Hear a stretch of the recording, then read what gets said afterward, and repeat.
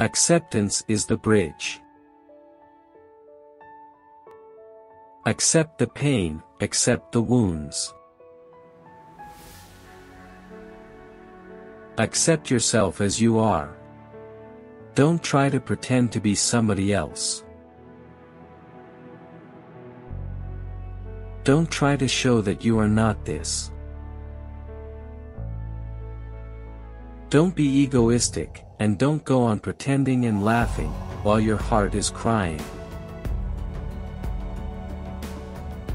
Don't smile if your eyes are full of tears. Don't be inauthentic, because by being inauthentic, you are simply protecting your wounds from being healed. Your whole being will become rotten.